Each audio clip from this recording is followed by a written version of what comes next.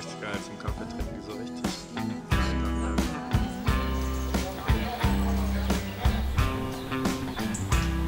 Einatmen nochmal die Finger Richtung.